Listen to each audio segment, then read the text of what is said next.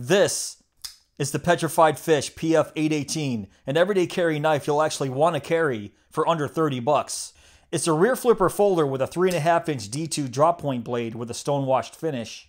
G10 scales with nested stainless steel liners, ball bearings in the pivot, and a liner lock. It also has a right side only pocket clip that's tip up and almost deep carry. And the action is absolutely phenomenal. For 28 bucks, this might be one of the best budget knives on the market.